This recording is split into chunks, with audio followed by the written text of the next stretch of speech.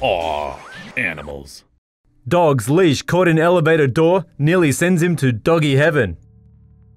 A hair raising 15 second life and death struggle left this dog owner shaken and nursing two broken fingers after a 110 pound Rottweiler was nearly garroted by his own collar when his leash caught in an elevator door.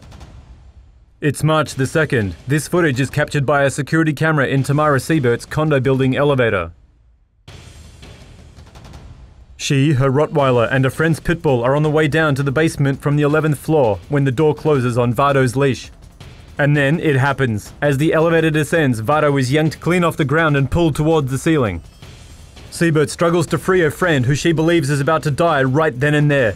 She smashes the emergency stop button, but all it does is sound an alarm.